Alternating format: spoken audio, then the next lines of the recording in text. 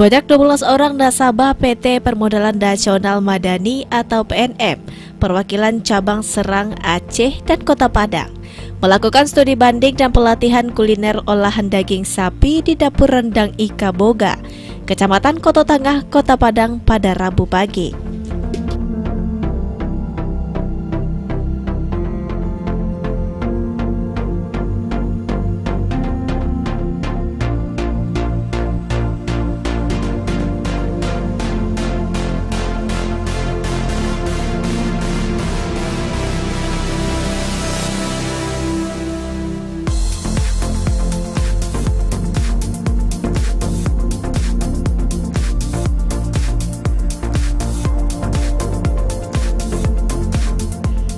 Sebelum kegiatan dimulai, seluruh peserta diajak berkunjung ke sejumlah ruangan di sentral rendang Kota Padang, seperti dapur, tempat pengolahan rendang, ruang parut kelapa, ruang santan, hingga ke ruang pengemasan rendang dengan lebih menarik untuk menarik konsumen.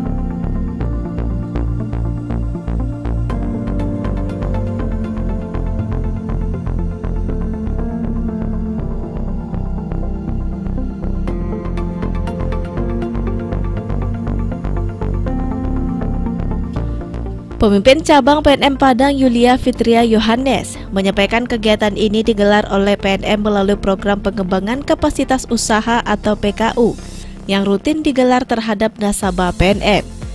Agar para nasabah tersebut dapat naik kelas, usaha mereka akan semakin berkembang serta omsetnya pun semakin meningkat. Ia menjelaskan PNM memiliki dua fungsi yakni pembiayaan dan pemberdayaan.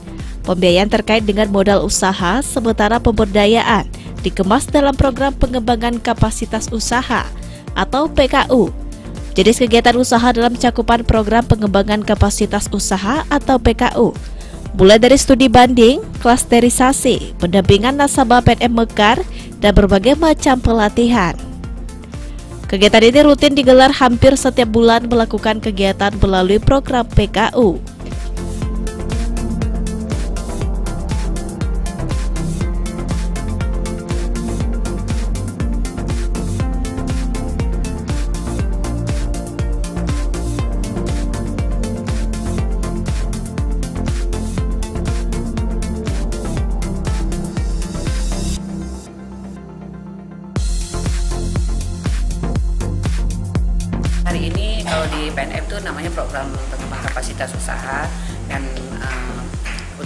Ini kita ngadain uh, studi banding ya. studi banding uh, dari nasabah-nasabah yang termasuk kota-kota yang Padang juga juga yang dari uh, Serang dan dari Aceh jadi uh, hari ini kita uh, mengajarkan ibu-ibu nasabah kita bikin uh, dendeng terus kemudian bikin abon ya sebanyak uh, sekitar 12 orang. Rutin, jadi gini, eh, PNM itu kan dua ya fungsinya. Pertama itu pembiayaan, yang satu lagi itu pemberdayaan. Jadi kalau pemberdayaan itu kemasannya itu namanya program pengembangan kapasitas usaha. Dari program ke, ke pengembangan kapasitas usaha itu macam-macam yang diadakan. Ada klasterisasi, termasuk ini studi banding, ada pelatihan-pelatihan. dan ini memang uh, rutin kita adakan ada aja setiap uh, bulan itu kita mengadakan namanya PKU tapi program yang kita berikan tuh macam-macam misalnya kayak hari ini studi banding terus ada lagi pelatihan misalnya ada lagi klasterisasi gitu tergantung nanti apa yang kita kasih buat nasabah kita.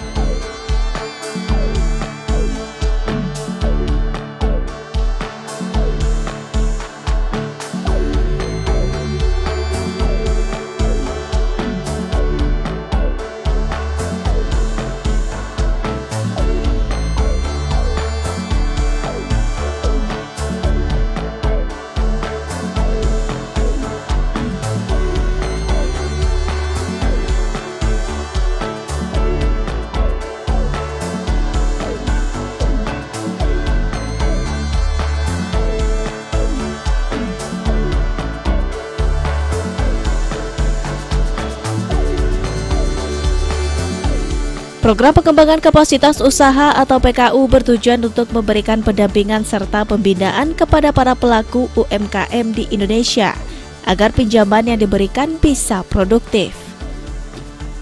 Pemimpin cabang PNM Padang Yulia Fitria Yohanes menyebutkan nasabah yang mengikuti studi banding ini minimal telah memiliki produk memasak dan diharapkan setelah mereka kembali ke daerah masing-masing dapat membuat masakan yang telah mereka pelajari namun sesuai dengan lidah warga di daerah mereka tersebut.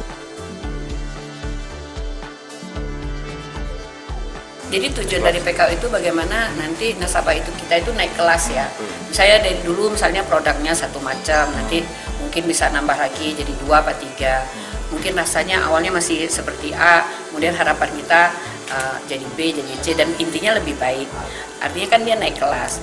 Kalau naik kelas berarti omsetnya juga akan bertambah kemudian kehidupan mereka juga akan lebih baik. Jadi itu yang kita harapkan agar nasabah-nasabah kita itu uh, semuanya seperti itu gitu.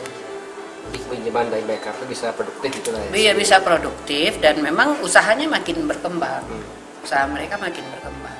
Dan PNM konsen dengan dengan ini makanya saya bilang tadi kegiatan PK itu emang rutin kita berikan untuk nasabah nasabah yang dipilih itu ada kriteria bu yang ikut hmm. studi ya. bu ada yang jelas dia pasti ada udah terbiasa dengan membuat produk ya saya masak kayak hari ini kan acara kegiatannya uh, memasak minimal dia juga udah punya produk masakan sebelumnya jadi mudah-mudahan nanti di tempat dia walaupun mungkin rendang itu dari Padang atau dendeng itu asalnya dari Padang ya bisa saja nanti itu akan mereka jual juga di daerah mereka menyesuaikan uh, mungkin uh, tesnya dengan di daerah masing-masing. Karena kan kalau Sumatera Barat kan kecenderungannya pedas ya, ya. mungkin di sana mungkin cabenya dikurangin atau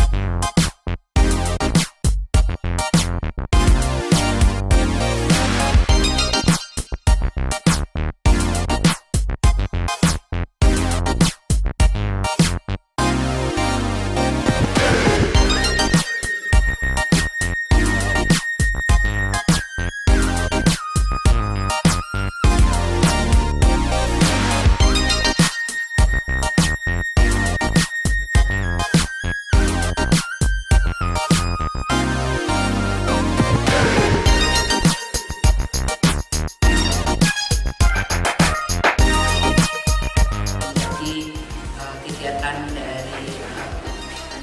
wajib dari PNM memberikan uh, pengembangan kapasitas usaha kepada ibu-ibu Ini hanya salah satu aja bu, salah satu aja dari dan biasanya di daerah masing-masing aku juga sering ikut PKU ya bu ya, yang Pak Mayanya, Orenanya dan sebagainya.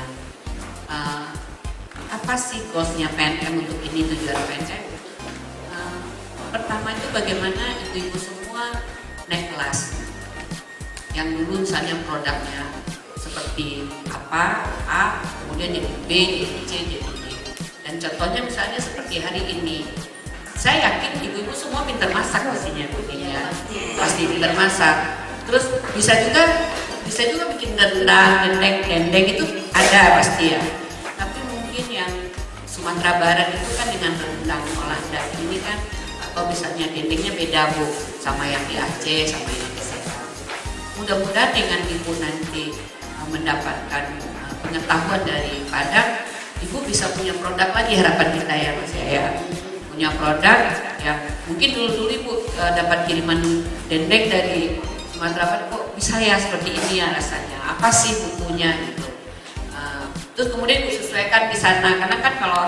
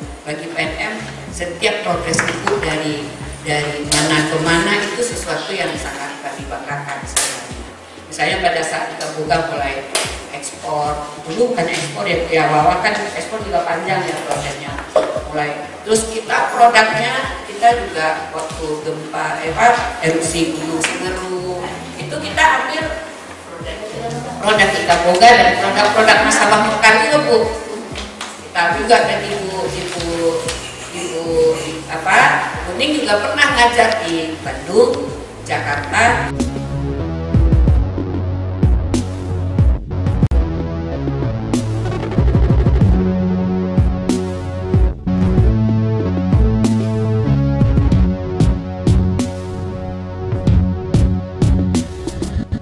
Sementara itu Kepala Bagian Divisi Pengembangan Kapasitas Usaha PT PNM, YR Wijayan Daru menyebutkan, kegiatan studi banding ini serentak dilaksanakan di empat kota di Indonesia, yakni di Kota Padang, Blitar, Banyuwangi, dan Kendari, dengan fokus pelatihan yang berbeda-beda, sesuai dengan kebutuhan yang diharapkan oleh masyarakat. Salah satunya e, memasak seperti ini. Di hari ini kita ada di empat tempat. Jadi hari ini kita selain ada di Padang, kita ada di Blitar untuk belajar e, coklat di sana. Kemudian kita ada di Banyuwangi juga. Kita sedang belajar untuk manik-manik, bagaimana bikin tas, bikin e, kalung dan segala macam. Kemudian kita ada juga di Kendari. Itu ibu-ibunya belajar untuk pengolahan uh, kopi di sana. Nah, berarti ada 12 kali 4 ibu-ibu yang tersebar di Indonesia di hari ini. Ya, harapannya nanti ibu-ibu juga publish kemudian uh, ngajari teman-temannya yang nggak hadir di sini. Ya, kita kan ada tiga resep nanti. Nah, nanti di tolong di share ke teman-teman yang tidak hadir di sini. Ibu-ibu semua adalah ibu-ibu yang terpilih yang hadir di sini. Ibu-ibu sebagai ketua kelompok yang menjadi motor dari Mekar dan Ulam ini. Kita percaya ibu-ibu di sini adalah ibu-ibu yang terpilih dan bisa membangun untuk di kelompoknya. Artinya ilmunya, ilmunya jangan disimpan, di-share ke teman-temannya. nggak ada salahnya, semuanya bermanfaat untuk teman-teman kita nasabah-nasabah yang tidak hadir di sini mendapat manfaat yang sama. Sama bermanfaat untuk ibu-ibu semua. Artinya ibu-ibu perlu apa pulang nanti di rumah tidak tahan kosong. Selain bawa hadiah-hadiahnya, ya, tapi dapat ilmu di sini. Karena PNM selalu memberikan pertama adalah modal finansial. Ya, modal finansial ibu-ibu kan sudah dapat semua ya. Kemudian modal sosial ini yang kedua Artinya ibu bisa berjejaring di sini. Ibu-ibu kenal dari wilayah-wilayah yang lain nih. Yang dari Padang kenal dari Aceh, dari Serang, saling bertukar ilmu juga. Artinya kita dapat manfaat selain di finansialnya. Jadi menambah teman. Kemudian kalau ibu-ibu punya sosial media, ya inilah manfaatnya. Nanti bisa berjejaring. Berjalan waktu sampai tahun ini sekitar lebih kurang 7 tahun menjadi total 38 orang. Tidak lebih dan malah tidak boleh menambah. Rencana begitu. Kenapa? Karena kalau ngatur koperasi anggotanya rame yang akan banyak itu mulutnya apalagi wanita. Ya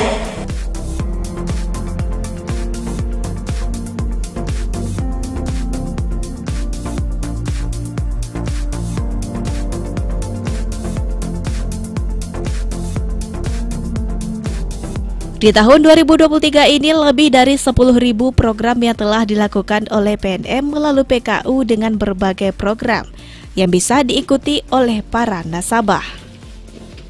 Sehingga PNM tidak hanya memberikan finansial atau permodalan saja, namun juga melakukan pendampingan agar para nasabah bisa naik kelas.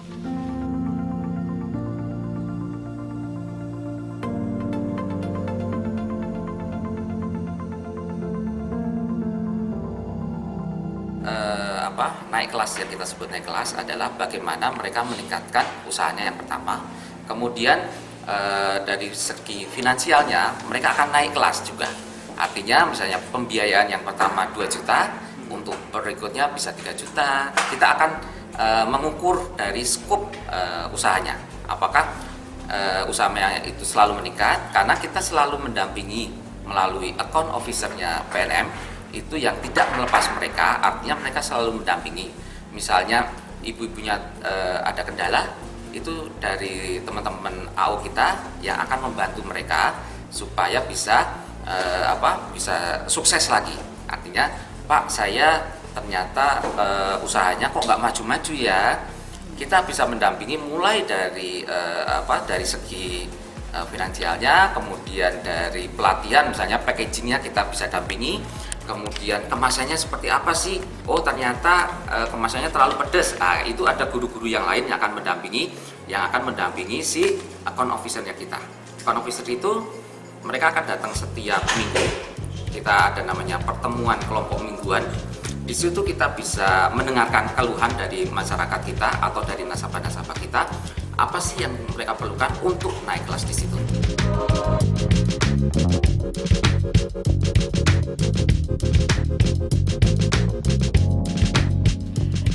Naik kelas yang dimaksud yakni nasabah bisa meningkatkan usaha dan finansialnya.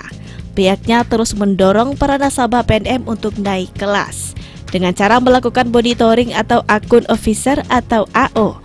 Selalu mendampingi nasabah setiap minggu dengan pertemuan kelompok sehingga pihak PNM bisa melihat perkembangan usaha para nasabah.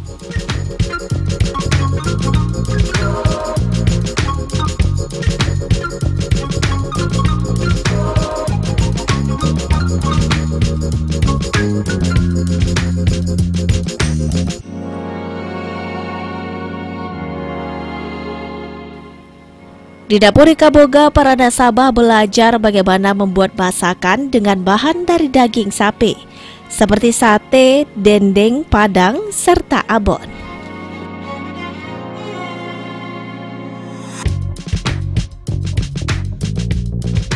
Kita pertama e, melakukan studi banding ini, kita melakukan riset dulu Pak. Artinya apa yang diperlukan oleh masyarakat di sini. Mereka ingin belajar apa sih untuk meningkatkan usahanya? Kita ajarkan di situ.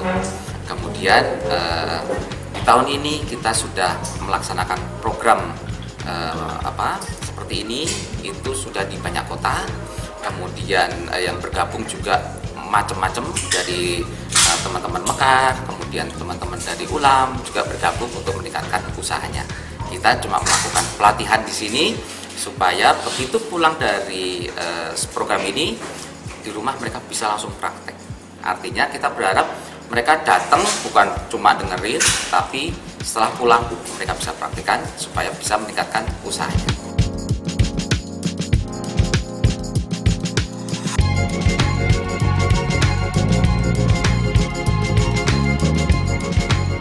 Sementara itu, salah seorang nasabah PNM dari kota Serang mengaku telah lima tahun lebih menjadi nasabah PNM Mekar.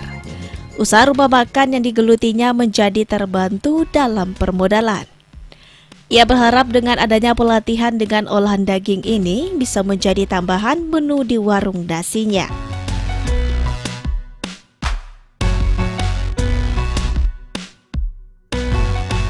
Alhamdulillah saya udah lima tahun lebih jadi nasabah Mekar. Alhamdulillah usaha saya berkembang, terbantu dalam permodalan. Hmm. Ibu siapa bu? Uh, rumah makan. Rumah makan. Iya. Okay. Mungkin bu ini kan ada pelatihan ibu.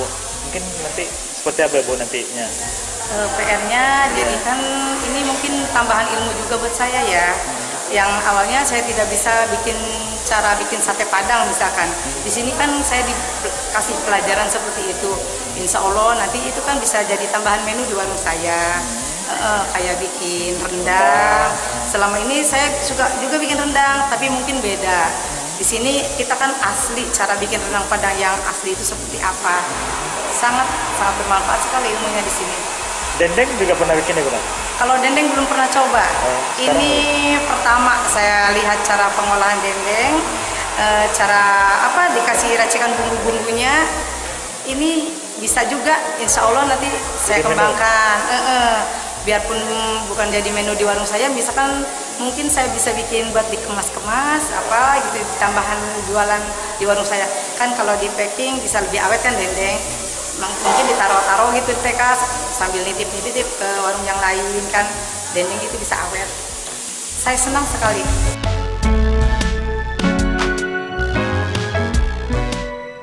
Saat ini PNM memiliki 3.504 kantor layanan PNM Mekar dan 638 kantor layanan PNM di seluruh Indonesia yang melayani UMK di 34 provinsi, 422 kabupaten kota.